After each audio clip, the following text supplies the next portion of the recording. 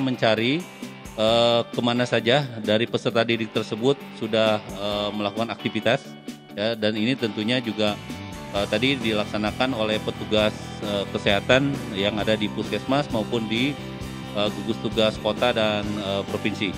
Dan untuk itu kita juga uh, beserta apa melakukan juga pemeriksaan uh, rapid test juga ada uh, dan kalau memang dari hasil itu ada yang reaktif itu kita lanjutkan dengan swab tapi dari hasil yang kemarin sudah dilakukan sampai dengan hari ini kita belum menerima laporan adanya yang reaktif.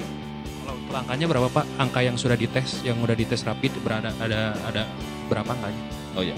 Untuk yang sudah dilakukan uh, rapid test, uh, angka pastinya saya uh, apa, lupa. Yang jelas di sana itu ada sekitar uh, ada beberapa tempat ya lokasi yang sudah kita lakukan rapid, yaitu mulai dari tempat uh, terjadinya transaksi jual beli, ya misalkan untuk keperluan uh, yang dilakukan oleh peserta didik, kemudian juga fasilitas-fasilitas uh, uh, umum lainnya, ya termasuk juga uh, fasilitas klinik yang ada di sekitar uh, secapa itu.